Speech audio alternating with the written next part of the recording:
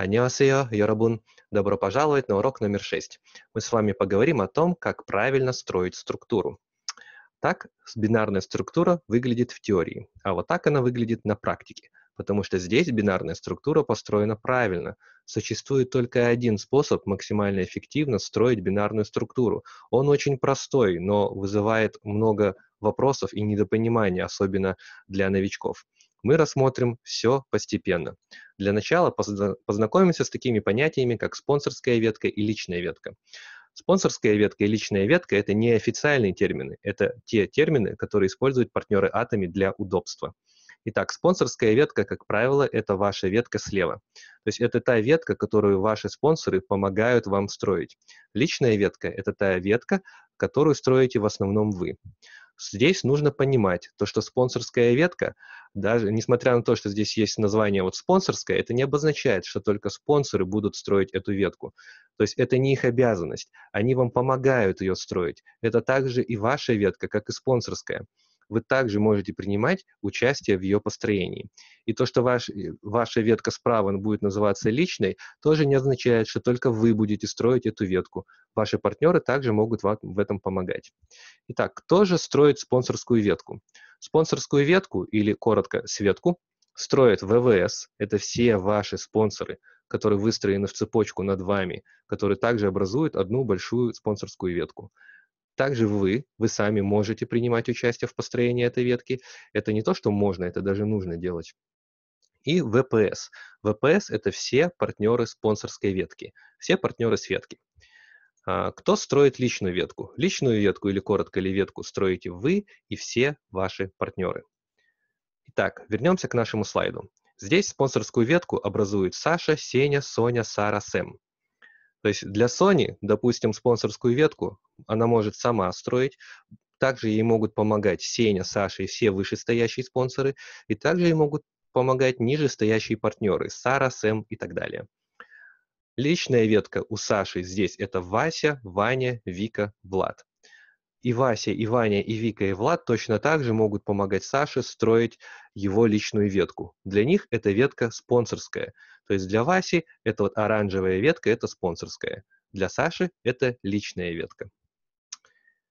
Давайте рассмотрим обычную ситуацию, чтобы было немного понятнее. Обычная ситуация. В Атоме пришел Саша. Спонсоры под него регистрируют Соню.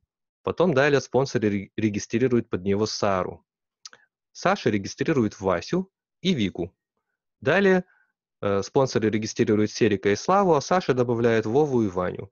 Вика добавляет Петю, Соня добавляет Пашу, структура растет. То есть это обычная ситуация построения структуры. Давайте еще разок. Саша появляется в атоме, под него спонсоры регистрируют Соню и Сару. То есть мы не знаем сейчас на, вот на этом слайде точно, кто зарегистрировал Соню, кто зарегистрировал Сару и кто зарегистрировал Сашу. То есть это спонсоры, которые находятся наверху, и их мы здесь не видим. Далее Саша регистрирует Васю и Вику. А, далее структура растет, под Сашу регистрирует, под, точнее под Сару здесь спонсорскую ветку регистрирует Серика, под Серику Славу, под Вику Саша регистрирует Вову, а под Вову Саша регистрирует Ваню. И структура растет. То есть это пример правильной структуры, когда здесь есть четко выраженная спонсорская ветка и четко выраженная личная ветка. Здесь придерживаемся одного правила, то что каждого э, партнера, которого мы регистрируем, мы регистрируем под последнего партнера слева, тем самым выстраивая одну непрерывную кривую линию. То есть здесь все э, партнеры стоят друг за другом, образуя своеобразный паровозик, то есть друг за другом паровозиком. И в личной ветке точно так же, все друг за другом паровозиком. Для чего это делается? Давайте посмотрим пример построения неправильной структуры. То есть здесь партнеры атоми раскиданы как попало. Спонсоры закинули Серика справа от Sony по какой-то причине, может быть, кто-то хотел помочь Sony. Саша сделал такую же ошибку и зарегистрировал Вову под Васю. То есть это неправильно. Почему? Потому что тем самым Саша лишил Вову своей спонсорской поддержки, потому что Вова находится в другой ветке, он никак не соприкасается с Васей, с Викой и Ваней. То есть те обороты, которые будут делать структуры Вани и Вики, они никак не будут идти в учет к Вове. То же самое, все обороты, которые будет делать структура Вовы, будут учитываться для Васи, но никак не будут учитываться для Вики и для Вани. Посмотрите еще раз, пример правильной структуры. Здесь все обороты, которые делает структура Вани, идет в учет и Вови, и Вики, и Васи, и Саши. Все обороты, которые делает Слава, идут в учет и Серику, и Саре, и Соне, и Саше. Таким образом, получается, то, что каждый раз, регистрируя нового партнера, вы добавляете не просто одного человека в свою структуру, вы добавляете целую структуру для всех своих партнеров, которых вы пригласили потому что один человек, на самом деле в атоме это не один человек, это целая структура, потому что он может принести за собой энное количество людей. И все усилия, которые эти люди будут делать, идут э, во благо всей вашей личной ветки.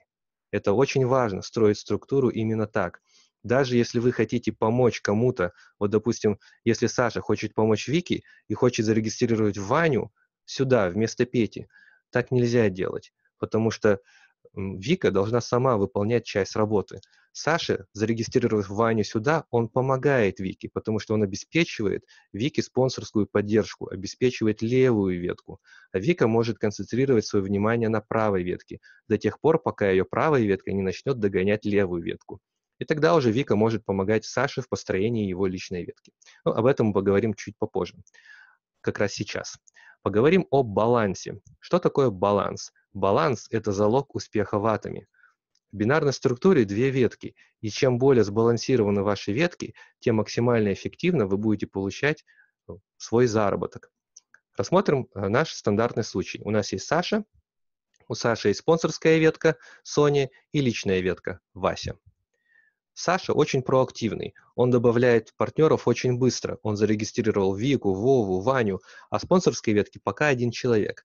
Саша понимает, то, что ему нужен баланс, поэтому он регистрирует своих партнеров и в левую ветку тоже, Веру и Валю, потому что ему так и так нужны партнеры, лидеры в обеих ветках.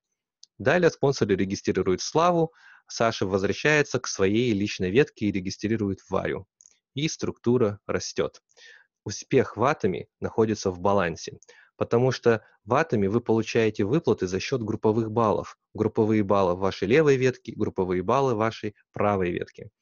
Также э, ваша квалификация мастерства будет напрямую зависеть от успеха ваших партнеров.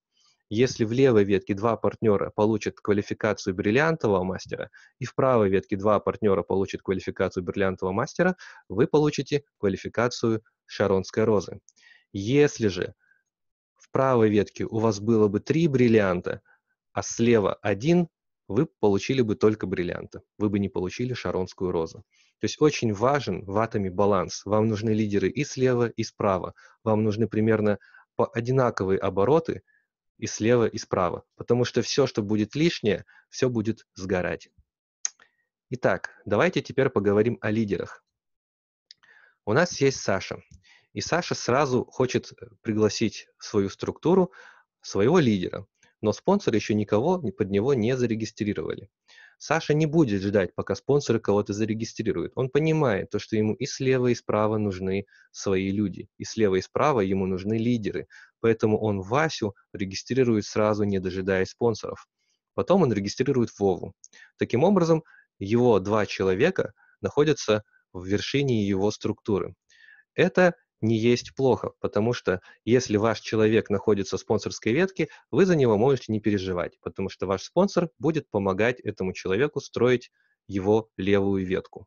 Вы можете концентрировать свое внимание на правой ветке, но всегда нужно поглядывать на левую. Если левая отстает, то помогать. Помните? Баланс.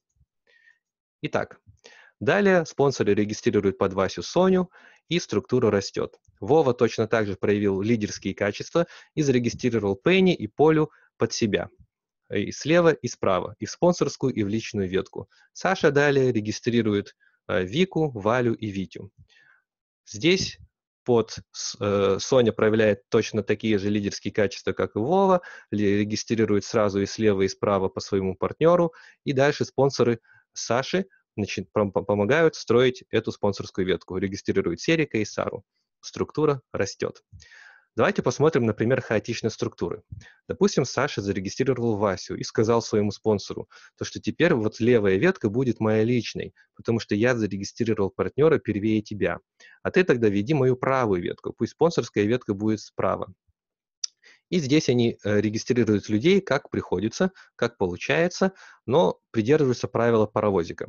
То есть здесь, если посмотреть, здесь этот принцип соблюдается, да, то есть вся структура Вани, весь оборот структуры Вани будет, идет, будет идти в учет и Вити, и Вики, и Вали, и Вови, и Васи, и Саши.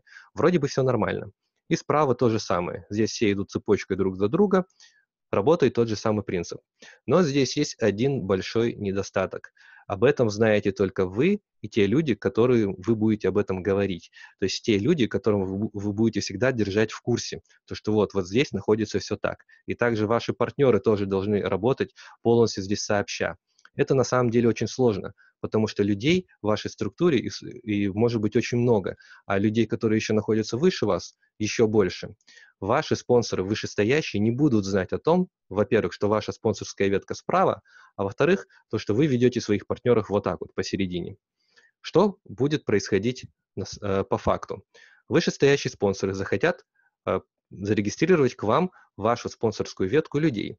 Они найдут вас и будут смотреть влево, влево, влево, влево, влево. И они решают то, что Петя – это последний человек в спонсорской структуре. То есть это последний партнер, которого регистрировали. Соответственно, они будут регистрировать людей под Петю. Таким образом, вся ваша личная ветка теряет спонсорскую поддержку. То есть ваша личная ветка, во-первых, заняла место спонсорской ветки, и спонсорская помощь идет только к Васе, только к одному человеку. Это очень неправильно. Давайте еще раз посмотрим, например, правильной лидерской структуры. Здесь Саша зарегистрировал Васю впервые своих спонсоров, но он не расстраивается, потому что он понимает, что левая ветка ему тоже нужна. Далее он регистрирует Витю. Витя регистрирует Петю и еще одного партнера. А потом Саша регистрирует Ваню и Вову. Вова зарегистрировал Полю. Саша регистрирует Витю. То есть здесь соблюдаются все принципы правильной структуры. То же самое происходит и в левой ветке. Саша регистрирует Валю, Вику и Витю, в то время как спонсоры регистрируют Соню и Секу. И здесь получается следующая спонсорская ветка. То есть это правильная структура в атоме. Давайте напоследок поговорим о правилах построения структуры, чтобы подытожить все сказанное. Первое правило. Мы строим только две ветки, личную и спонсорскую. То есть мы строим только два паровозика, то есть только две линии непрерывные. Мы не делаем никаких дополнительных ответвлений, потому что если вы делаете ответвление, то это ответвление будет существовать отдельно от всей вашей основной структуры и не будет получать от вас никакой спонсорской помощи. Не поддавайтесь соблазну и не подкидывайте людей к своим знакомым, чтобы им помочь, потому что это на самом деле медвежья услуга. Второе правило. Новый слева под последнего. То есть каждый новый партнер регистрируется слева под последнего партнера. Это не совсем как бы новое правило, это, можно сказать, дополнение от первого правила, потому что только так мы можем вести только две ветки. Каждый раз мы регистрируем под последнего партнера, который находится слева. Если вы хотите зарегистрировать в личную ветку, вы заходите в личную ветку и ищете по левой стороне цепочкой, смотрите, кто последний. Копируете его ID и под него регистрируете нового человека. То же самое можете, можете делать и в спонсорской ветке. Искать, кто находится, самый последний э, по левой стороне цепочкой друг за другом, кто идет, и под него регистрируете. Так вы никогда не ошибетесь. Третье правило – баланс – это успех. Смотрите на обороты вашей левой и правой ветки, смотрите на размеры вашей левой и правой ветки и старайтесь достичь баланса. Чем более сбалансирована будет ваша структура, тем более эффективно вы будете получать свои деньги. И четвертый пункт, четвертое правило – это помогайте Светке. Потому что это ваша ветка тоже, это ваши партнеры. Потому что успех всех ваших партнеров – это ваш успех обращайте внимание на тех людей, которые находятся и слева, и справа. Старайтесь помочь всем по возможности. Это могут быть советы, материалы, это может быть что угодно. Э, это может быть ваш опыт, какие-то ресурсы. Вся работа, которую делают партнеры слева и справа, идет вам на благо. Поэтому это все люди, все ваши партнеры, вся ваша структура. Поэтому помогайте всем. Это все, что я хотел сказать по правильному построению структуры. Стройте правильную структуру и добивайтесь успеха максимально быстро, максимально эффективно. 안녕!